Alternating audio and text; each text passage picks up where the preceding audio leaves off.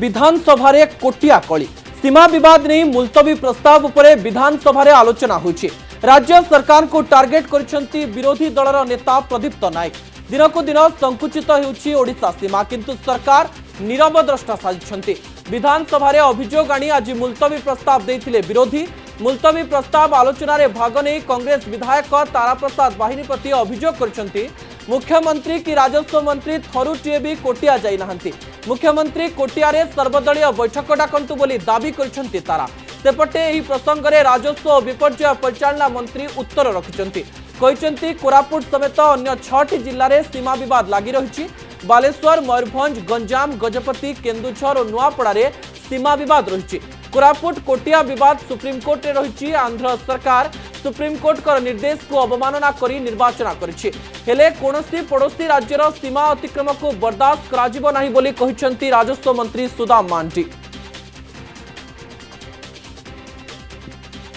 ସରକାର ଛତିଶଗଡ଼ ସହିତ ମଧ୍ୟପ୍ରଦେଶ ଆପଣଙ୍କର ପଶ୍ଚିମବଙ୍ଗ ସହିତ କେଉଁଠି ଝାଡ଼ଖଣ୍ଡ ସହିତ କେଉଁଠି ଆନ୍ଧ୍ର ସହିତ ଯେଉଁଠି ଯେଉଁଠି ସୀମା ବିବାଦ ଅଛି ସେସବୁ ଜାଗାକୁ ଗୁରୁତ୍ୱର ସହିତ ଦେଖୁଛନ୍ତି ସେସବୁ ଗାଁ ଗୁଡ଼ାକୁ ଦେଖୁଛନ୍ତି ଲୋକଙ୍କ ସହିତ ଲୋକଙ୍କ ସମସ୍ୟା ସହିତ ଯୋଡ଼ି ଅଛନ୍ତି ତେଣୁ ମୁଁ ସେଦିନ ବି କହିଥିଲି ଯେ ଆମେ ଗୁରୁତ୍ୱ ସହିତ ସେସବୁ ଜାଗା ଦେଖୁଛୁ ତାକୁ ବରଦାସ୍ତ କରାଯିବ ନାହିଁ ଆମେ କହୁଛୁ ଯେ ଶହେ ସତଚାଳିଶ ବିଧାୟକଙ୍କୁ ଡାକନ୍ତୁ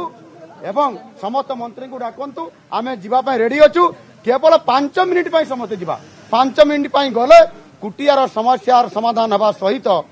ଏଇ ଯୋଉ ଆପଣଙ୍କର ଚଉଦଟି ଜିଲ୍ଲାର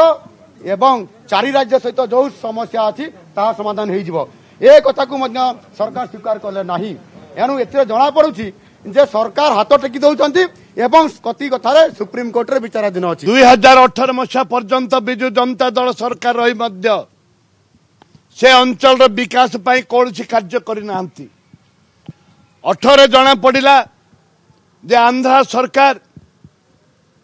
ସେଇଠିକା ସରପଞ୍ଚ ନମିନେଟର ସରପଞ୍ଚ ଲୋକପ୍ରତିନିଧି ଥିଲେ ସେଇଠି କଂଗ୍ରେସ ଦଳ ଯାଇ ପହଞ୍ଚିଲା ତାପରେ ରାଜ୍ୟ ସରକାର ପହଞ୍ଚିଲେ ଏବଂ ଆଜି ସେଠାରେ ନିର୍ବାଚନ ସରିଲା ହଜାର କେତେ ଲୋକରୁ ଛଅଶହ କେତେ ଲୋକ ସେଠି ଭୋଟ ଦେଇଛନ୍ତି ଭୋଟ ଦେଇଛନ୍ତି ଏଇଠି ପ୍ରମାଣିତ କରାଗଲା ଯେ ରାଜ୍ୟ ସରକାରଙ୍କର କୌଣସି ସେଇଟା ରାଜ୍ୟ ସରକାରଙ୍କର ସେଇଟା କିଛି ନାହିଁ